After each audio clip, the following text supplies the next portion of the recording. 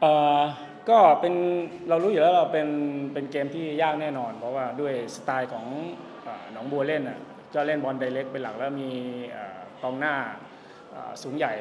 ทั้งทั้งคู่เลย แล้วก็มีปีกที่มีความเร็วในการเล่นเป็นเกมโต้กลับด้วยเขาเล่นบอล transition เป็นหลักอะไรเงี้ยแล้วก็เรื่องของเอ่อเวลาคู่ต่อสู้เดินขึ้นไป press หมดอย่างเงี้ยมันก็จะเปิดพื้นที่หน้าลายให้ให้กับ เอ่อกองหน้าตัวใหญ่ สลับกันลงมาพักกันหลับกันลงมาหม่งเช็ดอะไรเงี้ยซึ่งมันเป็นเป็นเกมที่ที่ยากที่จะรับมือกับกับกับแทคติคอลแบบนี้ด้วยอะไรเงี้ยเพราะฉะนั้นเราก็โอเคอาจจะเสียสมาธิในในในจังหวะหนึ่งที่เป็นประตู แล้วก็หลาย ๆ จังหวะที่เราดันขึ้นไป มันก็ต้องเสี่ยงในการที่จะดันขึ้นไปกดดันแหละ เราก็เสียพื้นที่ด้านด้านที่บอร์ดมันก็ทำให้เขาเล่นได้ในในสิ่งที่เขาต้องการเลยครับ แต่พอครึ่งหลังก็พอเราเสียประตูไปเราก็พยายามปรับเกมใหม่แหละก็ก็เด็กก็ทำได้ดี แล้วก็สร้างโอกาสได้หลาย ๆ ครั้งแล้วก็เอาเงินชัยเด็กที่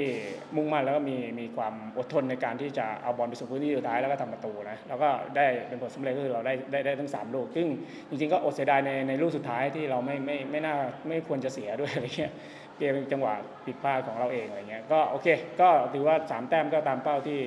ที่ ทุกคนต้องการแล้วก็เชื่อว่าแฟนบอลคงมีความสุขกับเกมนี้การมาได้สามแต้มที่นี่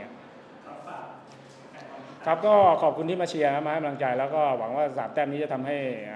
ทุกคนมีความสุขกับการเดินทางกลับระยะทางไกลๆด้วยอะไรเงี้ยก็คิดว่าก็